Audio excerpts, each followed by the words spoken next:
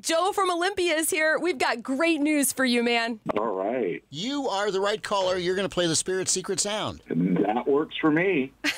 All right. What's going on in Olympia today? Just uh, working and just uh, enjoying the sunshine before it starts raining this weekend. What do you do, Joe? I do some office work. I also officiate football. Oh, what level? I do high school and trying to get into college now, and I also do college softball and high school softball. What are you thinking when parents are upset about? Well, that wasn't a hold. How do, how do you process that? Tell them to get out there and, and do it because we're very short staffed and uh, Yeah. throughout the state. It's and it's one of the best things you could you could do is to give back to your community by officiating, and you get to make a little bit of money, but you get to have fun. And you're right there in the middle of the game. Wow. So I got an idea for you. Why don't you bring an extra sh- uh, ref- referee shirt and just hand it to the first person who complains? There you go. I've got plenty.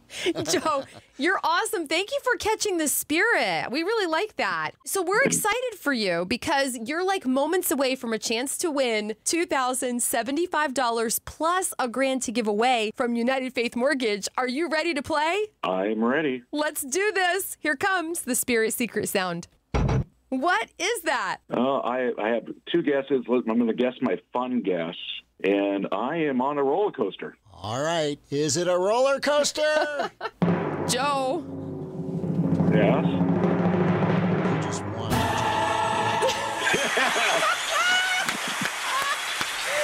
Joe from Olympia, you just won the spirit secret sound. Awesome. Oh my God. $2,075 plus a grand to give away from United Faith Mortgage. Joe, how did you know? Usually kind of targeted around the season. I was thinking Puyallup Fair, all that. That was one of the two guests I had told my wife that it was going to be, and I went with the fun guess. So, Joe, are you a chicken like me or a roller coaster fan? I've gone on it when I was younger, but I haven't gone on it recently. But I think I may go on it here uh, soon.